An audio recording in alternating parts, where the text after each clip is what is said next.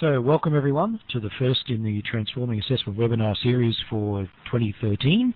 Welcome back for those of you who are our regular uh, participants here and welcome to all our new participants who perhaps haven't participated in one of these sessions before. Tonight or today, wherever you are in the world, we're very fortunate to have Muriel Foulonneau, uh, who's a senior researcher at the Henri Tudor Research Center at Luxembourg. And Muriel has uh, published quite a bit around metadata and the use of metadata in digital resources. But tonight, well, today, what we're going to hear about is the semi-automatic generation of assessment items, the objectives, challenges, and perspectives. So, Muriel, I'm going to hand over to you now. Um, hi, everybody. So, um, I'm very pleased to be with you. So um, I'm going to try to talk about the semi-automatic generation of assessment items today. Uh, first of all, I'm going to um, introduce a little bit uh, myself and the group I work in. So um, this is a public research center in the tiny country of Luxembourg. Uh, we're a group uh, specialized in knowledge technologies. Uh, we do research and innovation, so basically a lot of um, uh, collaboration with uh, real world people, um, industries and um, public services and so on. we have a multidisciplinary team including psychologists, psychometricians, software engineers, and so on. Um, we work on several application domains, but we have developed for several years now a group which is working on e-assessment. Um, we have multiple collaborations with ETS in the US, DIPF in, the, um, in Germany, uh, Karolinska Institute in Sweden, and many others. Um, what uh, we've been doing, so we're doing two kind of things. One is more operational. Um, this is like the, the TAO platform, which is an open source um, system for the delivery of e-assessment. Um, it is based on semantic technologies, and we've been developing it for several years now. It is used for it has been used uh, in a number of diff, in a number of um, uh, assessment types, including uh, diagnostic assessment, formative assessment, but also large-scale assessment, and it it's currently supports the OECD PISA and PIAAC studies, uh, which I'm certain you're familiar with. Um, so uh, on the research side, however, uh, related to e-assessment, we do assessment item generation, complex item design, as well as the use of tangible user interfaces uh, in assessment, in particular to measure 21st century skills such as collaborative skills. So I do come from the metadata and semantic field, and uh, I'll um, I'll try to keep the talk a little um, uh, to stick a little bit to that kind of uh, activities which are reusing semantics in the field of e-assessment. Um, the objective um, of this talk is basically to provide an overview of semi-automatic assessment generation um, for both formal and informal learning and present some of the work we have been carrying out here on assessment item generation from the semantic web, uh, from models, and the specific issue of the generation distractors uh, from semantic data sources. Um, so um, this is an outline of the talk, um, which I added so that you don't get too much lost. So first section is really on uh, trying to give an overview, um, then uh, provide um, an insight on some of the work we've been doing on the generation of assessment items from the web, the generation of distractors uh, for match and choice questions. Um, so why generating items? This is generally to provide a context. I um, borrowed those numbers to um, uh, the work done by Mr. Gierl in um, in Canada. Um, it was estimated that the cost of items was between $1,500 and $2,000 per item. And for um, a large item bank to support adaptive testing, for instance, you would need an investment of something like three to four million dollars uh, just for the item creation. Um, this is also, there is also a security issue uh, in trying to um, create multiple items from the same uh, template um, which is to include variability in items. So um, typically to avoid brain dump, uh, so having people try to remember a particular item and um, copy it somewhere so that other people can um, can copy it and use it for the next round. Um, the idea is in this case to include some kind of variability so that it's not that straightforward to uh, remember or copy um, an item. Um, it is also important in other um, other contexts. One is actually informal learning environments. Um, scalability. If you find the, the numbers I gave too high, I'm giving the reference for it. And the, this reference is actually um, it's it's actually for um, uh, referring to uh, specific studies. I agree it's not only for multiple choice items. Um, so following, um, so there are other types of domains in which it's actually important in formal learning environments uh, where it's impossible that professionals create test items for all types of self-assessment. Um, then the personalization of learning paths, of uh, personalization informative assessment uh, or on-demand assessment in which you also have a clear scalability issue. Um, so this is an illustration of large item banks to show that indeed you have a variety of items and um, the issue of assessment item generation is very different according to the type of items we're talking about. Um, we have been developing very complex items, uh, but uh, it is true that a lot of the work on item generation is currently done on fairly simple items. Um, this is an illustration just of um, a newspaper article which was referring to a study that has been done to try to demonstrate the value of um, passing tests uh, for formative purposes, so how much you learn from a test, uh, just as an illustration of a growing interest for formative assessment rather than only summative and so on. Um, then learners create items for formative assessment. Um, this is the case, for instance, in certain types of flashcards uh, where people will include, for instance, multiple choice items or these kind of things, and where you have the development of um, community sites to exchange flashcards or that kind of things.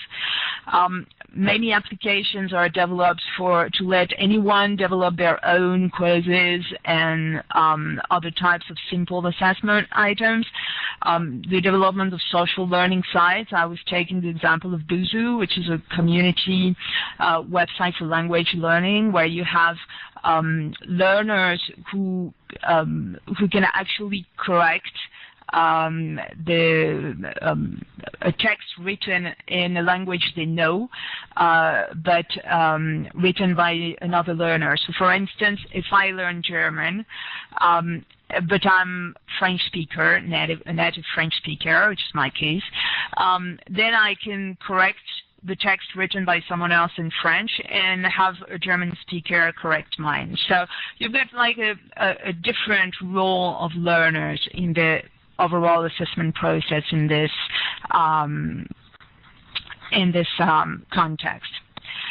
Um, this is an, an, example of a system we've been uh, working on uh, with um, the Antonine University in Lebanon um, to try to generate items from um, text uh, to try to represent a way for people to um, transform the browsing experience into a learning experience through the creation of um, through them identifying specific things they would like to remember and use that for creating items automatically. So these are a number of illustrations of different contexts in which you might be willing to have uh, implement an assessment item generation mechanism. So what is assessment item generation? Um, um, this is a, an idea, um, a representation of the process. So what you have is um, potentially a task model for start, then a template, then data source or a mechanism to actually create variables, and I'm, I'm going to get back to that concept of variables. Then optionally a cognitive model for uh, understanding how people will solve the item, um, and a mental model to represent how a particular person is expected to solve a particular item. Um, the, um, here I, I present the three steps um, that are distinguished by um, Gierl again, uh, the definition of variables in an assessment task, the generation of items based on those variables, and statistical models used to estimate the psychometric properties of each item.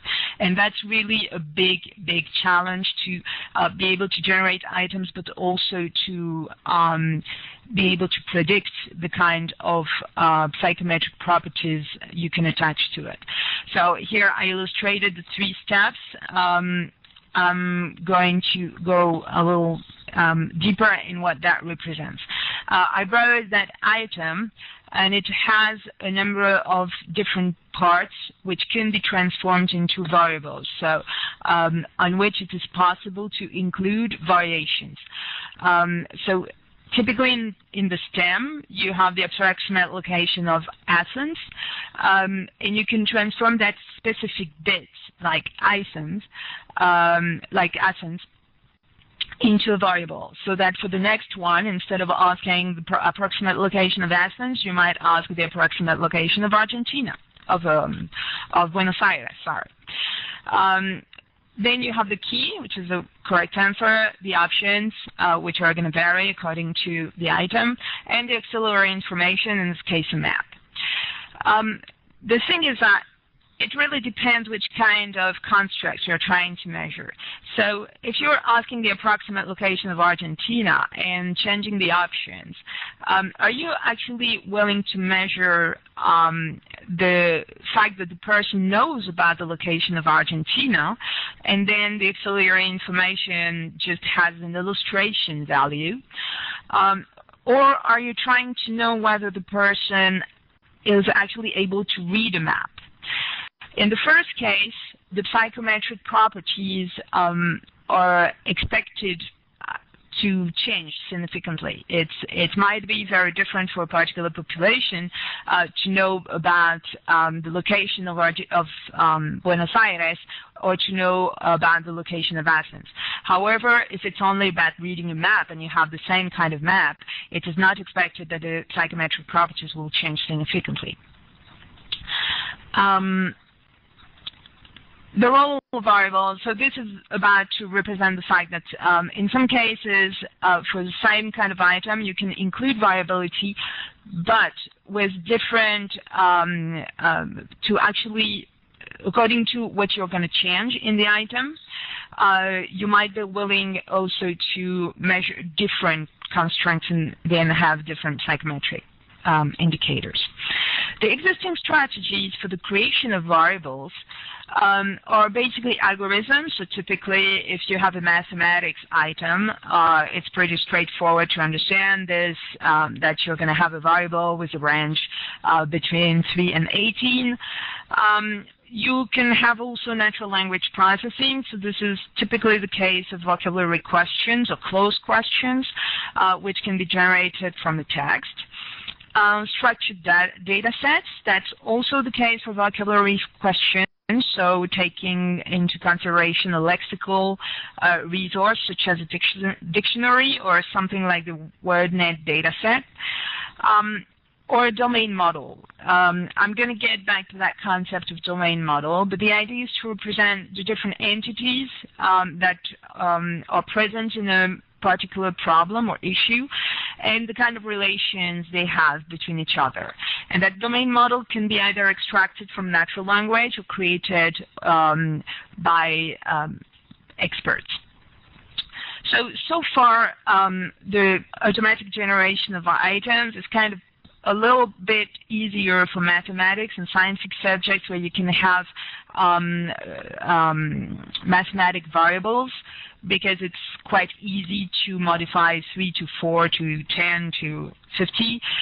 Um, or in L2, so um, language learning um, applications. Um, there is, however, a big challenge to generate all the types of variables, uh, such as the additional information, so the multimedia part of an item, uh, the historical knowledge, providing feedback, for instance, and including variations in, um, in this part. So the sources for the generation of items are basically text and models. Um, so extracting questions from text, here I took two examples, uh, but the idea is to, you take a text, a text and you try to generate a cloze question, for instance, by removing uh, one, um, one word or one element from that text and try to find either in the same text or in a different lexical resource um, um, a set of uh, credible alternatives. Uh, you can also transform a sentence from full text into a question, uh, such as which disease or syndrome may progress to cirrhosis, um, and then try to find the uh, to identify the correct answer in the text. So to do that, there are uh, what we call uh, discourse connectives. So um, basically, it means you will identify in a text uh, things like because, um, since, when, although, and take that um, um, yeah, I'm sorry, I was I was looking at the chat. Um, and take that into consideration uh, to actually extract a number of um, um, a number of sentences and transform them into questions, uh, such as uh, because means it's causal, and then you can create a question starting with why, um, things like that. So this is basically, I'm not going to go into any detail, but this is the kind of um, um mechanism that's entailed. Um, then extracting questions from models um, so this is a model I extracted uh, from the work done in a, uh, a European project called Dy DynaLearn. Uh, so you had a number of experts going, um, getting together and trying to model a particular problem. So you have the definition of entities, such as human population, natural resource, ecosystem, and then the relations between those entities, like require, so human population requires natural resources uh, things like that. So the idea is to model a number of problems and then to extract uh, the um, the relation, the yeah, the relations and a number of information from it, and to generate items from that. So the assumption is that it is interesting because it can allow the adaptation of the learning um, of, of, the um, assessment items generated and the um, learning paths, basically, informative assessment, uh, along the current context or person. Um, it's independent from particular representations or the learning resources. It means that from the same model, you can actually extract different types of items. Um, it can be a multiple choice question, a simple choice question, an open question uh, in certain cases. Um, the constraint is that the domain model must exist, of course, and that requires bringing together experts to design a model of what learners should learn. And this is um, kind of tricky because it's very expensive. Uh, it requires the experts to be available and so on. It requires also for certain types of knowledge that um, it changes over time. So if we know something new, then it needs to be added. Um, so we've tried to work at several levels. Um, so the semantic models first, uh, the assessment item generation, and then the test delivery platform. I'm not going to get into the detail of that. Uh, just present a little bit uh, the work we've done on the assessment item generation.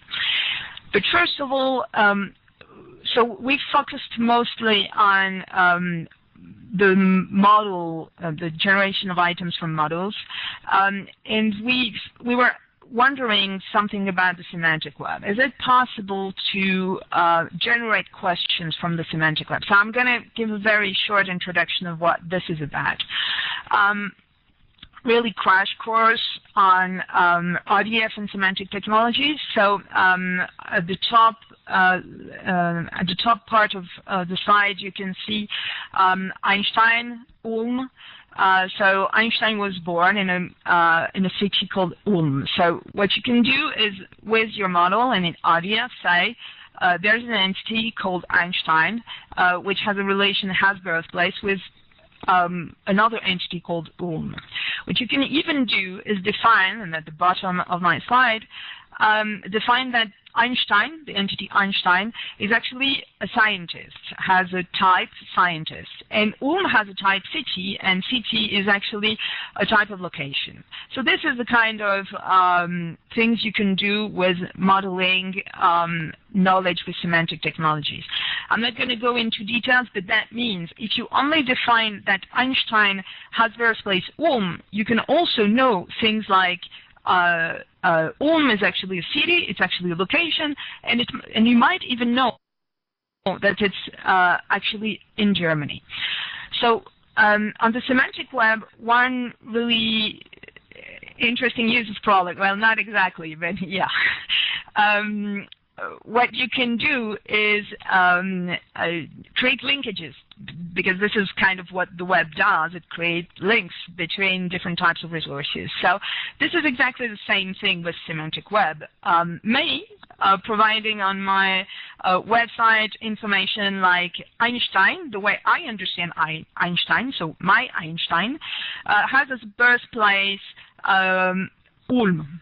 Uh, and instead of defining my Ulm, I can define uh, that this is the UM defined by someone else, like DBpedia.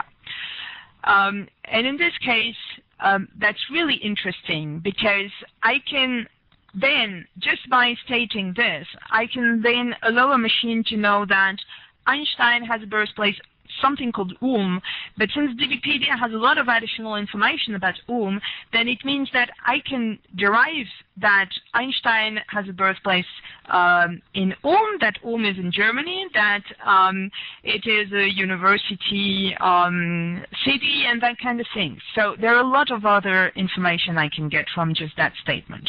An alternative is actually to create my Einstein has a birthplace, my Ulm, and that and, and, then defining that my Ulm is the same as the Ulm defined by Wikipedia, and it's gonna go the same way, um, meaning I can then know the same the same kind of things that Ulm is in Germany and that kind of things. So this is just a, a very short introduction of what the semantic web looks like. So in real world, um, here you all recognize um, Wikipedia uh, which if you're a teacher, you know your students like very much.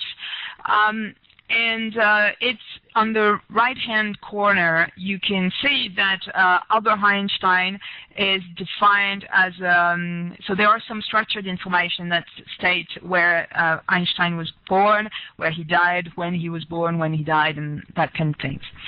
Behind that, so if you go to the source of that page, you can actually get a link to what is called DBpedia. So there are people who are actually playing around with Wikipedia pages and get the structured information from it, extract it, and make it available as an open data set.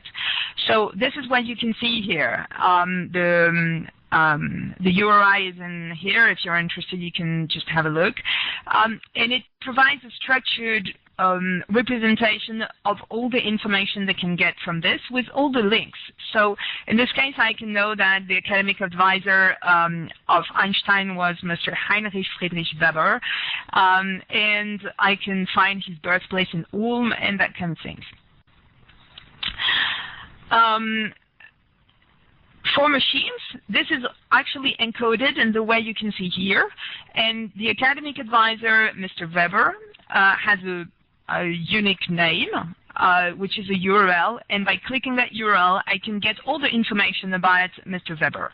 So that means um, I can use all those links to go inside DBpedia, but also outside DBpedia, and there are an, a lot of um, resources which are available in this way on the web. This is a representation of the different types of data sets and their uh, linkages, so the way in which they send to resources, they refer to the resources defined by other data sets.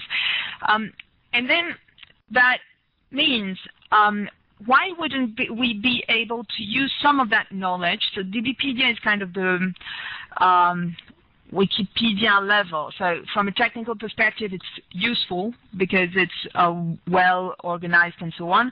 But there are lots of data sets here created by scientists, created by cultural heritage institutions, um, created by a lot of people who do have uh, more, um, how, how to say that, um, uh, like on which the accuracy of information will be less debated. Let's put it that way. Um, but I'm talking in a more general manner here. Uh, the limitation of the model-based approach is that experts are difficult to mobilize for a long modeling exercise. So is, would it be possible to actually reuse existing data sources which might not have been created for uh, the purpose of creating uh, an educational domain model, but we could actually reuse the data and made available for that.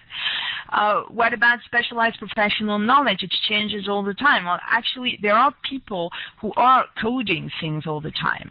And um, the type of knowledge you can find on the semantic web includes a lot of knowledge which uh, is not well codified in curricula right now. Um, but maybe we could reuse some of this. So we did a small um, experimentation on this with the idea of can we reuse linked open data as knowledge models for learning? First of all, is this feasible? Then are the data sets relevant and how much quality control do we need after that. This is for accuracy as well as data formatting and that kind of thing. So we created very simple items like factual knowledge for choice items, um, the kind of straightforward mechanism. This is uh, pretty much the architecture. So we had an item uh, template um, and we created a QTI uh, representation of items. So this is the way it works. We use several data sources. Um, so DBpedia, Sindice, OpenLink, which are um, aggregators, so like semantic search engines, basically. Uh, and we made also a test with a local model, so an educational model we created with an expert um, in the, from the dentistry department of Karolinska Institute in Sweden. Um, and we tried to generate items from this. Um, the, QT, the item templates were QTI items, so I, I assume you all know about QTI. This is uh, standard by IMS uh, for the representation of test items. Um, and we created them as uh, JSON templates, meaning, as you can see, all the variables are uh, represented with curly brackets. Um, get knowledge from the lot. So the first thing was to uh, collect information from the semantic web. So this is the way you do it, just SPARQL query. I'm not going to get into the technical details. Uh, the first um, the first try we did was was the random selection of distractors among siblings. So what are siblings or just um, uh, in this case, uh, this is um, a country and then capital of that country. So uh, the idea was to take capitals of other countries. So basically, if you have the state as capital, then we we we could use you. Um, and this is the final uh, representation of a QTI XML item. Uh, so you have, um, it's just a standard item, basically.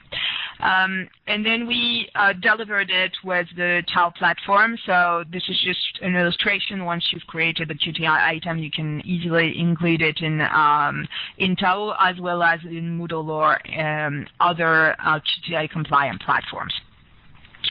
Uh, this is a test. So the, the, this is an example of the test with DBpedia. This was um, a question on uh, who succeeded to um, whoever king as ruler of France. Uh, we used an ontology and so on. It doesn't matter.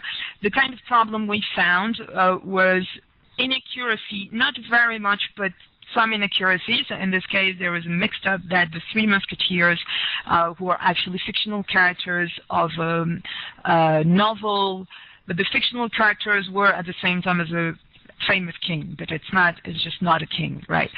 Um, most interestingly, um, the issue was with the labels. I'm sorry. So um, in some cases, kings do have different labels. They have a nickname, they have a, um, a Roman number, sometimes they do, they do have um, uh, an Arabic number associated with them. So you have a certain inconsistency in the way in which the naming of the kings was represented, and we didn't have a straightforward way of sorting that out. It is possible um, to do some kind of linguistic um, processing uh, but it it was just kind of, our original objective was really to identify the kind of data quality issues we would uh, find. so this is an example of an item with um, the, uh, where um, three kings were generated as options uh, with a different pattern, uh, linguistic pattern, um, syntactic pattern, sorry.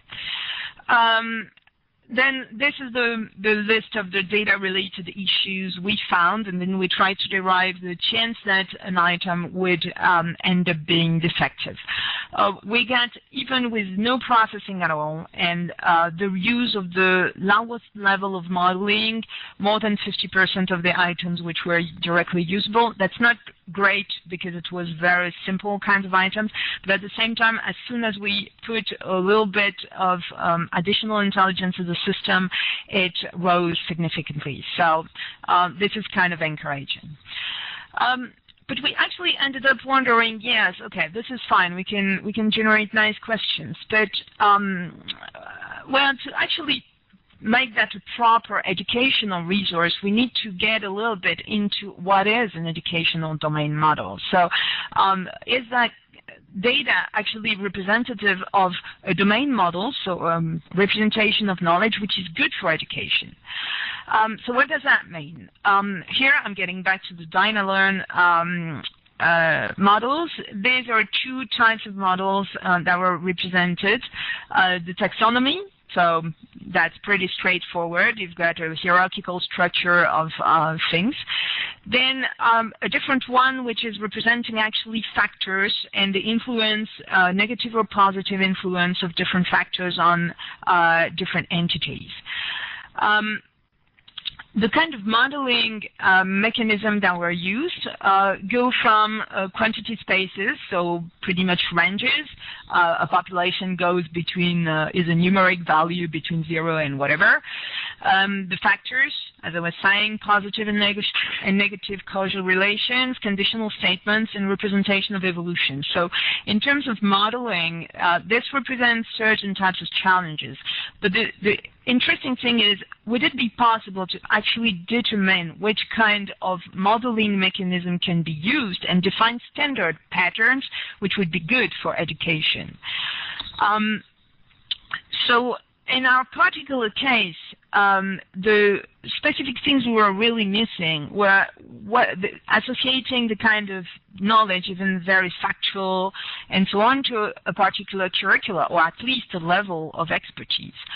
Um, so that would be the boundaries of the model which part of the model is actually relevant for a particular educational context, um, uh, both the width and depth, because you might be willing to uh, take only several concepts uh, and not getting into the detail of all the relations they have between each other.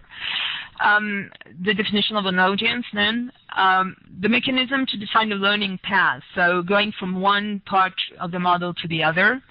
Uh, mechanisms, specific mechanisms to use the model, uh, for instance, for the generation of distractors. And then the definition of useful types of properties for particular learning and assessment purposes. That can be causal properties or process-related properties, for instance. Um, this is um, an attempt that was uh, done by um, a couple of researchers to try to map uh, specific types of um, model structures uh, to particular types of knowledge that could be uh, tested. So they were representing this in the knowledge dimension of the taxonomy of Bloom, um, with things like a would be uh, factual knowledge, so uh, something is part of something else. Um, causal uh, and effect relations would be in conceptual knowledge and this kind of things. That would require, actually, as I was saying before, standardizing a little bit the way in which models are created. And this is a mechanism then to define specific types of questions and the natural language that goes with those questions. Um, we've done a little test, I'm just going to mention it quickly, to actually see whether with um, the study, so we, we've done the study, I'm going to get back to this. Uh, with the study we had, uh, um, we, we were doing with um, uh, testing just general knowledge of capitals of the world, uh, we could actually uh, do some web mining and guess for particular populations whether it would be possible to predict that most people would actually know one rather than the other.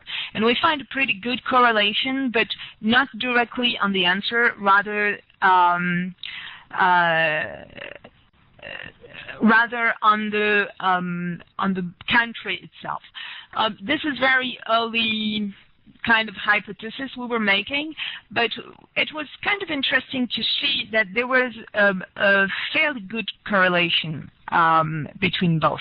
This is very unfactual knowledge. I know about the the limitation of say of this, um, but we found that pretty interesting um, as a way of potential enrichment of an educational of a, of a model to make it educational. Now, how to increase the quality of items, and that relates to the definition of specific processes to actually uh, make a model usable. Um, I'm sure you wouldn't have failed this test. Uh, I'm, I'm going to mention a little bit the questions afterward. I, I think they do appear. Uh, what is a good distractor first? Um, how the selection of distractors. So we've, we've uh, generated choice and match items. Um, the match items are a little uh, trickier, uh, but um, I'm not going to get too much into detail because that's not um, the, the real topic here.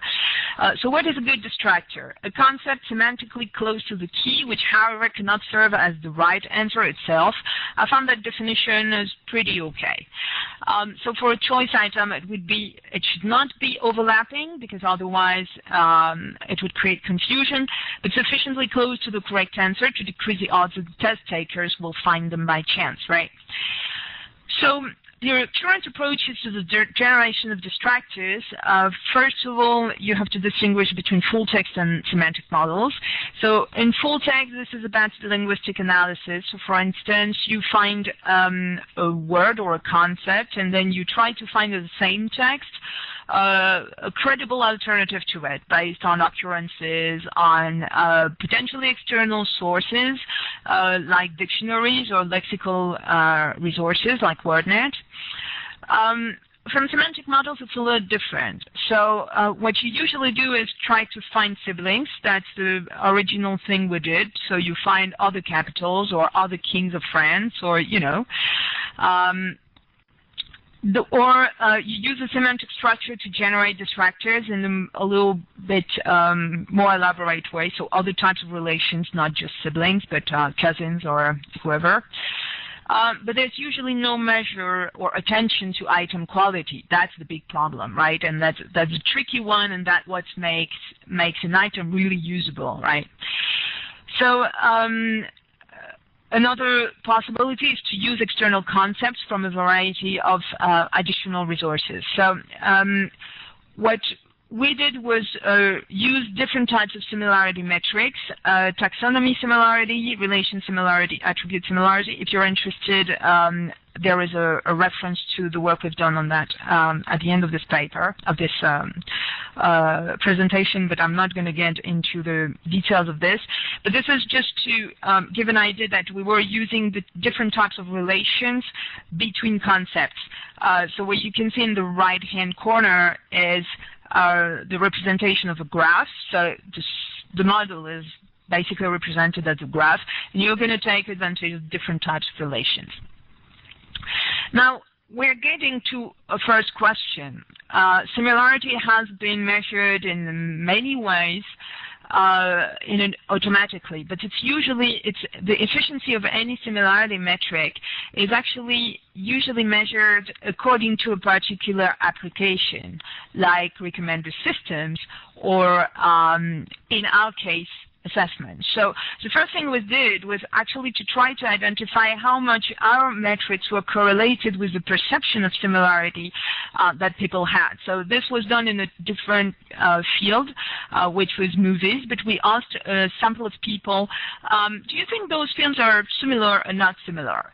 Uh, or how much similar do you think those movies are? And then we tried to find whether that was well correlated with what we could find in different similarity metrics. So once we had, we were fairly confident that our metrics were performing uh, better than other metrics, then we could apply it, apply it to uh, the experimentation of the creation of distractors. Um, so calculating the semantic similarity between the distractors and the correct answer. So in this case, the question is, what is the, the capital of Gabon? So um, you all know the, the answer, right? It's written just uh, right here, Libreville.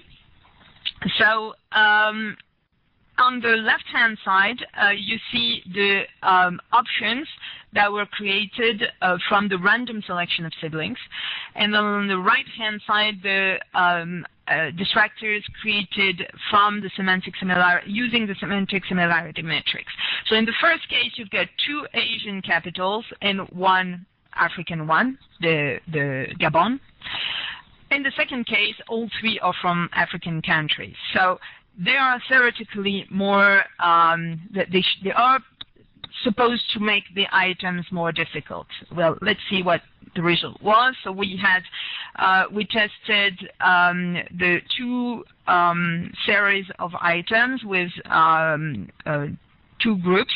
Uh, the first series was using the was not using semantic similarities. The, first, the second one was, and as you can see, so the red um, uh, the red columns represent the ones where the semantic similarity was used, and you can see that uh, the percentage of correct answers uh, significantly decreased, and we validated that with um, IRT. Um, to ensure that um, the test was valid. Um, so as I was saying, the problem is, so we, we, we kind of demonstrated we could increase the similarity, the, the difficulty of items, but can we actually measure it or predict it in some way? The first question is, um, what is what would be the good structure of an item? Uh, so taking the overall item. So uh, at the bottom, I tried to represent, I'm not sure that's all that clear, but um, the uh, blue one, the blue bubble is the uh, correct answer, and the red ones are the distractors. So where should the distractors be? Because I tried to review existing guidelines, and they kind of say, well, it should be similar, but then how similar? Should should the distractors also be similar to each other? Should they be very close to the correct answer? Where where should the um, distance be? And that's not really relevant if you're talking about manual creation of items, but if you're talking about the automatic generation of items, then we have numbers uh, behind the semantic similarity. So we can actually calculate um, the what we call the dispersity of an item, which is how close or how remote uh, the uh, different options are to each other. And but we don't have a clear answer on whether it's actually good that two distractors are close to each other, um, just as close to each other as they are to the uh, correct answer or not. And I took the example of who is the author of Oliver Twist. Um, in this case, you've got two distractors which are very close to each other, but uh, they all also um, uh, there are also writers, uh, novel writers, just like Charles Dickens, but of course they are not from the same century. Um, so, what, what, would be would it be better to have um, two authors from the 19th century? How how does that play really? And uh, I, I didn't really find uh, a good answer to that. So, if you have any insight, I'd be very happy to hear it. Um, so, uh, this comes the conclusion. Um, yes, we, we are, uh, Mathew, be good and try to reverse analysis and human-made question. We've actually done that, so um, this is kind of the work we are currently doing. We've asked uh, someone who's creating tests to actually create uh, distractors for the same questions uh, that we have created distractors, and we're in the process, with, so we don't have definitive results right now, but to try to measure how distant from uh, the semantic similarity metrics his uh, suggestions were uh, and whether they were more distant than ours. The way in which it's currently made, there is no real rule. So, um, uh, as far as I could see, uh, on the um, on the similarity, uh, whether one um, whether distractors should be as close to each other as they are to the correct answer. However, since we don't have metrics, the, what we're doing now is trying to take humanly created ones and try to add metrics to it try to understand the mechanism. So as a conclusion, because I'm late, Um, I think I'm not sure. Uh, we started a little late, but anyway. Um, so just to make uh, people answer just as a message, uh, different types of assessment item generation. From model or from text, it's quite different, or it can be quite different. Uh, the relation with the skill or knowledge to be assessed with the construct. Uh, the existence of a cognitive model and um, the predictability of psychometric indicators according to the, the level to which we know uh, a particular task and the factors which influence uh, difficulty in particular. Um, the domain-dependent processes, the structured generation typically is domain-dependent. Um, and then formative assessment versus summative and diagnostic, which do not uh, create the same constraints on the predictability of uh, psychometric indicators, for instance. Uh, and I'll finish with a slide where I'm taking um, a word that um, Gierl, again, uh, is using in emerging science. I'm giving um, a, a, reference to a book he just released. I didn't have time to read it, but um, on automatic item generation, which is uh, which looks pretty interesting. Um, but I um, so it's called it, it says uh, basically that assessment item generation uh, is aimed at uh, moving the um, the assessment item creation from an art to an emerging science. So basically from some from an activity where know-how is very important, experience is very important, human experience, to something where actually can we compute it somehow.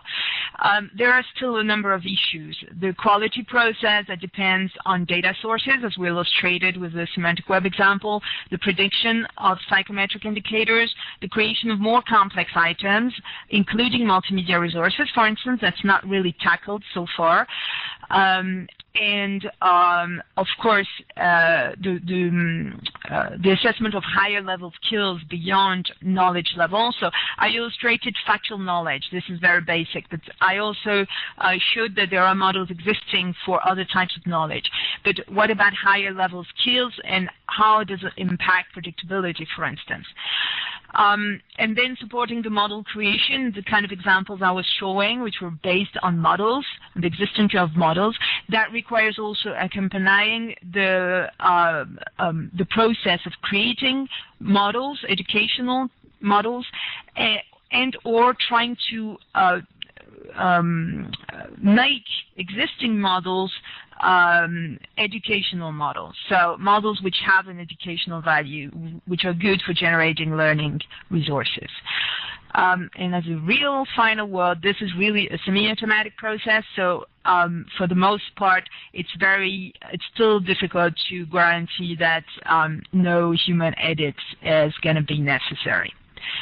I think that's it. Um, you can see afterwards, so I acknowledge um, uh, the contribution to um, a number of works I've presented by other people beyond me. Uh, some of our references here, uh, if you need any other, because I might have forgotten some, um, I'd be happy to answer that. Uh, you have my email in the presentation and other ref um, relevant references I've used here. Um, and this is for Geoff. Uh, thanks very much, Muriel. That was a fascinating and informative um, presentation, and I think everyone would have really enjoyed that. Uh, Mathew, did you? Ah, yes, you're going to put in the survey link. Yep, thanks very much. So that's gone up, everyone. Now, uh, what we'd like you to do, everyone, first of all, is to fill in the uh, feedback form, if you could, before you head off. Uh, but the other thing is, please um, ask any questions you want now or make any comments. Uh, so you can do that by putting up your hand if you wish. Remember, we've got the little hand symbol there, which if you want to ask a question, you can do that, and we know what order you can uh, to ask people to respond in. The other, of course, is you can just type into the chat uh, as well, uh, if you've got a difficulty with your mic as well. So now it's over to the audience.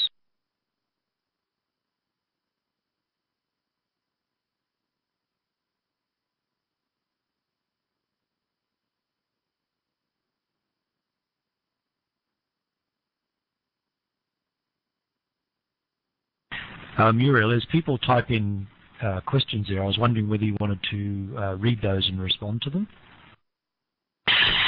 Um, yeah, I can probably do that. I was trying to catch. Uh, there have been a, a, number of things discussed, so um, the choice of distractors being a nod, yes, of course, I fully agree. Um, it's just that you know how people are. They work on uh, computer science things and so on, and so they try to put everything in a machine. Like um, it's not that I really believe it's uh, it's possible to do it only this way, uh, and that's why I'm not arguing for doing things fully automatically. Uh, but I think in some cases it might be useful to have um, suggestions or this kind of things, and just try out until where you can go um, in order to um, collect as much information as possible. And one thing which I believe is really interesting in any case is trying to understand um, practices. So for instance, what we've done so far is to collect distractors from uh, uh, human creating distractors but for, for the same questions that we were using, um, if we can do that with different people, then we can actually compare the different uh, practices. And that's also pretty interesting, I believe, as feedback to humans, even for human creating um, items. So there are a number of things here which I'm, I fully agree. I'm not trying to put humans into a machine, and I'm not saying everything can be automated, um, but it's always interesting to see whether we can study the current practices and to what level we can go in terms of supporting uh, the automated mechanisms. Um, yeah, and yeah, this is this is really about filtering. Um, and I saw something about the um, is there something and the field of artificial intelligence. You can scroll back through the questions. Yeah, yeah that's what I'm doing.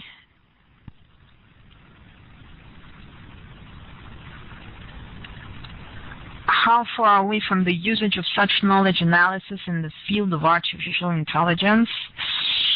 Mm hmm I'm not sure I understand that one. Um, if you create a question using a Wikipedia article, what is the effect of editing the article? Yeah. Um, so there has been um, an experiment with trying to generate um, questions from Wikipedia as a way of improving Wikipedia, and that's definitely an interesting path. Uh, so trying to correct it backwards. The problem with that is um, you need to choose what is your reference. Is your reference the content of the Wikipedia page or whatever, or is it the person? If um, you're taking the Wikipedia page as the reference, um, then you consider this is the truth, and then you test the person according to that truth. Does that person know about that truth? Uh, on the opposite, you can test um, the Wikipedia page, and then you take the person as the expert, and you test whether everything which is on the page is actually correct. Uh, but you consider that the expert has the truth. Now the problem is when you're not certain of either of those. And there are ways of doing of doing this. Uh, so in this case, what you do is, for instance, try to um, uh, elaborate a level of trust or expertise on the expert, on the learner, on the on the person you have. So, uh, for instance, if you you have sufficient a sufficient number of questions uh, distributed to that specific person, and you know the answer for sure of, to a number of those questions. That person always answered correctly, so you might predict that the next one he's going to answer correctly. Another example, and that's really kind of things used in games for a purpose, for instance, is to build um, uh, mechanisms from the crowd. So I'm going to give an example, um, a, a, system which is a, a game to actually create metadata on pictures.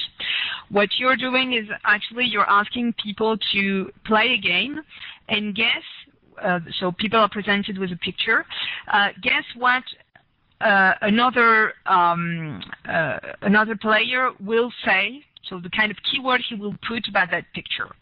So if you have a, a picture of a horse, um, I may write a horse, or I may write uh, um, a sheep. But of course, uh, maybe out of 100 people, uh, there are very little people who are going to write sheep.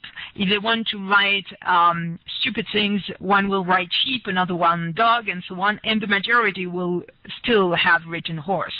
So by uh, building that kind of um, quantitative statistical uh, model for quality evaluation of the answers, you can actually uh, try to identify weird things. Like when I was identifying the Three Musketeers as a king, probably at some point you can identify that nobody is actually choosing that distractor, and there might be a problem with that one. But there's no real good model to do this at the moment.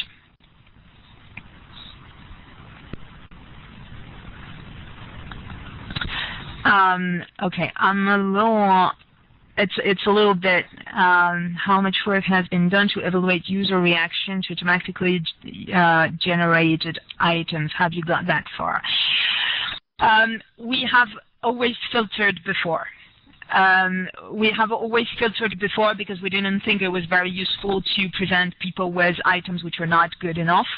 Um, so uh, what I have done is to work with um, a psychometrician here um, who's um, also working um, as a, a, professional item creator and um, she has um, she has defined uh, selection rules based on what we were creating. So that's why I I can provide you with numbers of items which were good uh, without edits but we only selected those.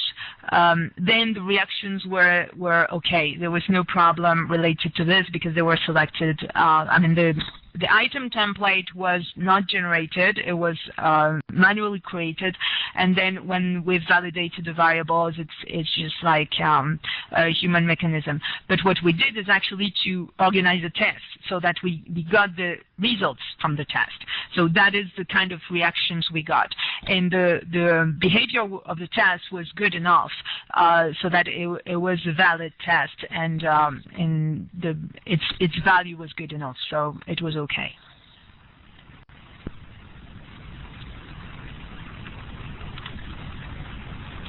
Okay. Uh, the, so um, you will find in um, uh, so the first, uh, this statistical analysis, uh, we did the first one uh, with the DBpedia examples, uh, which was really not trying to improve the mechanism. That was really the raw data. Uh, so you can find the numbers at least. I, I, don't remember whether I gave them for all of them. I think I did. Uh, the samples are limited, but you can find it in a in an article which is at the end of the presentation, uh, um, which has DBpedia in its title. Um, the uh, for the improvements, I do have that on my desk, but it's not yet published. But um, I would be happy to get back in touch with you as soon as we've formalized it.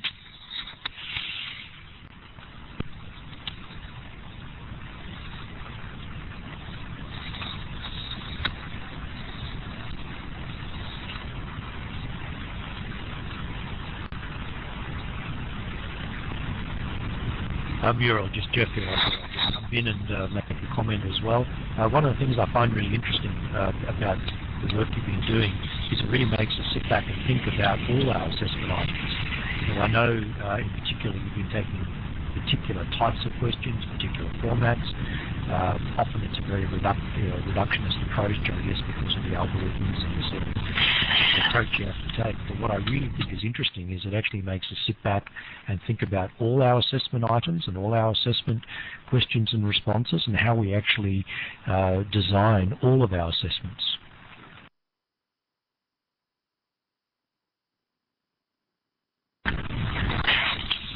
Yeah, I don't know how much insight you can get from um, from this work, from this type of work yet, uh, but definitely that's the um, that's the way in which uh, we're trying to work. At the moment, the idea of the item generation is to uh, implement, uh, so one of the objectives, so there is research-related objective and then uh, operational-related objective, but one of the operational-related objectives is really to try to see whether it would be possible to have a, a mechanism for semi-automatic uh, generation of items, so not only mathematics items, but other types of items um, plugged into a system like TAO or any other. So it's not it's not like um, uh, one specific platform. It's it's more uh, general and try to see whether we can assist uh, people to facilitate the human work. And again, I'm not trying to say um, the full automatics uh, mechanism will work in many cases. The example I gave was the um, uh, plugin we put uh, on the web browser to be able to have items generated uh, automatically. In this case, you don't have human intervention, but that's only possible for very simple items. For other types of items, it's a little more complicated, and the idea is to have that included in existing uh, platforms uh, to help out with the item creation.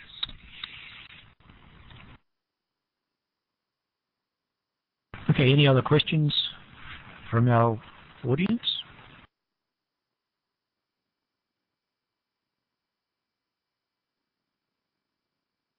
Okay, Tim, would you like to take the microphone? Uh, thank you, Muriel, for a very interesting talk.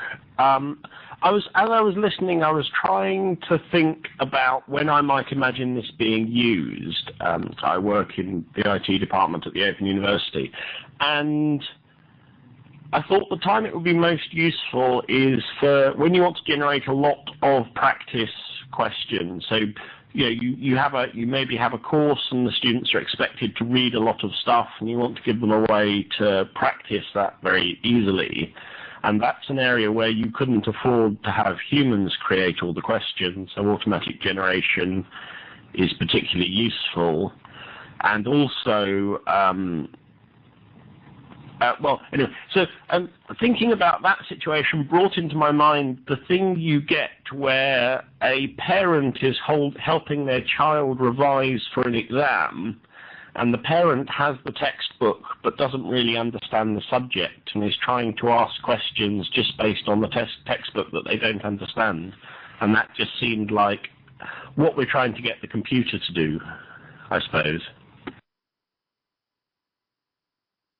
Um, yes, the, um, I've, I've, mentioned in this work um, several times uh, the work done at Alberta uh, by uh, Gierl's team, which is very interesting, although um, a lot focused on item banks. So um, uh, more traditional item banks, and it's it's really um, the kind of um, uh, of work which needs to be the reference. Um, but what we've tried to investigate is a little more um, um, uh, informal mechanisms or mechanisms where you would have to generate things uh, which are a little uh, more um, uh, uh, I mean, you might have more inaccuracy and so on. Um, they have done some work also on um, the generation of items from textbooks, so that's um, one thing, and that requires linguistic uh, mechanisms. Uh, what we're trying to do is also to work with um, the web as a, uh, not the web like the whole web, learning resources online and that kind of things. But I think it's definitely this. So uh, parents trying to help out with um, uh, revision. When I was referring to flashcards, this is also something students create for themselves. So you you just um, they are already creating assessment items for themselves and exchanging them. So this is actually really um, uh, in the scope of formative assessment. How can we use that kind of work um, and see whether it is possible to um, uh, to integrate it into more or less formal uh, assessment practices which are currently being developed. But yes, um, I fully agree. This this is a, a pretty good use case.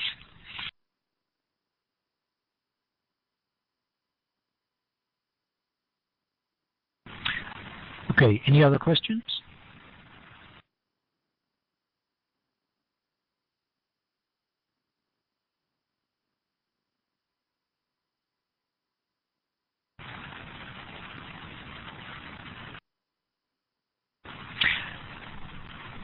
Okay, Muriel, I think we might thank you and uh, just say thank you very much for your time. And we really appreciate you uh, doing the webinar, presenting that. I think people found that absolutely fascinating. And as I said, uh, what we'll do is this will be archived. We'll make it available. Uh, so on the Transforming Assessment website, Mathew will put up the link uh, once we've processed this, and uh, then you can let any of your colleagues know about this as well. So Muriel, we really appreciate your time and your presentation. Thank you very much, and it's um, it was um, very interesting having the chat with you, and um, thank you very much for your attention. Bye. Okay, bye, Muriel. Uh, Mathew, we could probably stop the recording now. Recording stopped.